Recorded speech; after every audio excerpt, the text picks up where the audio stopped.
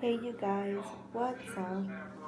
It's Goat Snail and I'm gonna be eating this soup and it's called Hot Chicken Flavor Cup Ramen. So I'm excited to try it. I got this at my local Tokyo Asian market. So yeah. So here I go.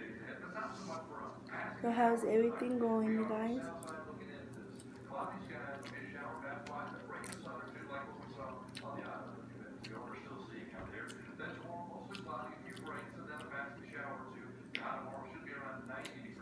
Oh, it's spicy,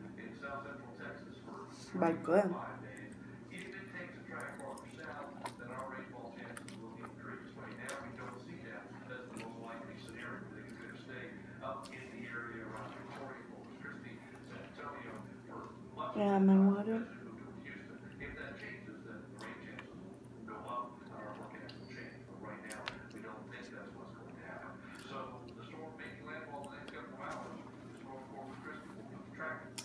So, that's good.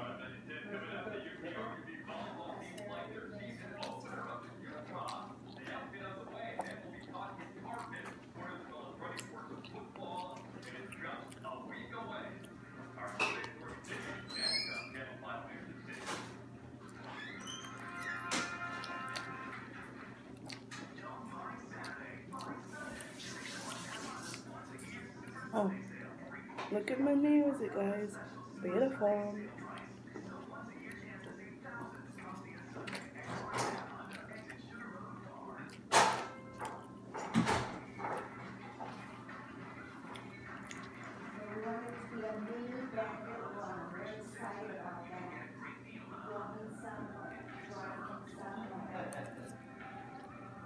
Mm.